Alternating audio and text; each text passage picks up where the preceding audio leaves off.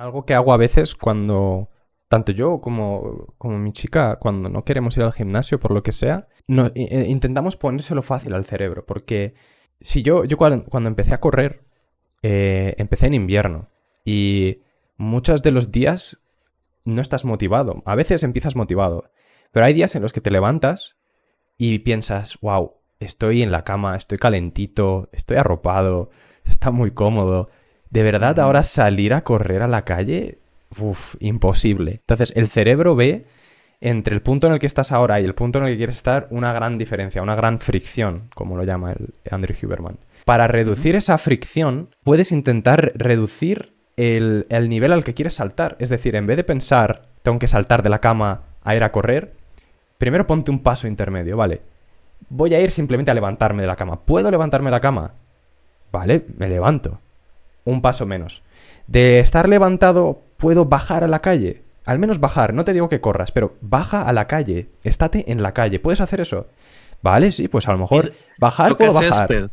Eso es. Toca o sea, césped. Es recomendable. Toque, sal a tocar ponte, césped. pon- ponte fuera y, y empieza a andar un poco, ¿vale? Puedes andar, ve, mira, sí, anda. Y te vas a dar cuenta que de, de estar andando en la calle a, sal- a- a pasar a correr es un paso ya muy pequeño. O sea, ya estoy en la calle, ya hace frío en la calle. ¿Por qué no correr, sabes? Y de repente te has, te has guiado a ti en el proceso y estás corriendo en la calle. A veces me pasa que utilizo esta, esta táctica, bajo la calle y es que digo, pero si es que hasta me apetece correr. Si es que andar me parece aburrido.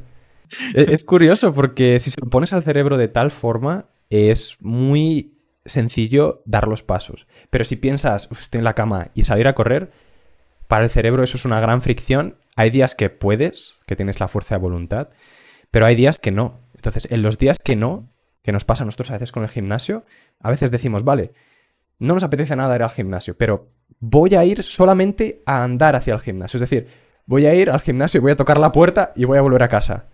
¿Puedo hacer eso? Vale, sí, venga, voy al gimnasio. Entonces voy andando y entre que llego al gimnasio y toco la puerta, digo, mira, si es que ya estoy enfrente del gimnasio.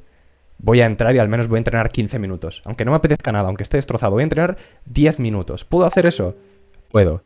Y empiezas a entrenar 10 minutos y dices, joder, ya es que ya he entrenado 10 minutos. ¿Qué me cuesta entrenar 10 más? Y 10 más. Y de repente no te das cuenta y ya es un entrenamiento entero.